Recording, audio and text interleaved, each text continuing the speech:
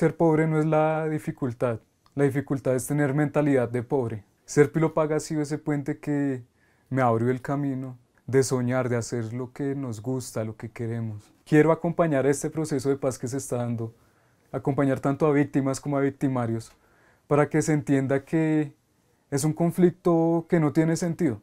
lo felicito por ser tan inteligente y estudioso. En esta Navidad le pido al Señor Jesucristo que ilumine el camino de mi hijo para que sea un profesional, siga adelante, no pare.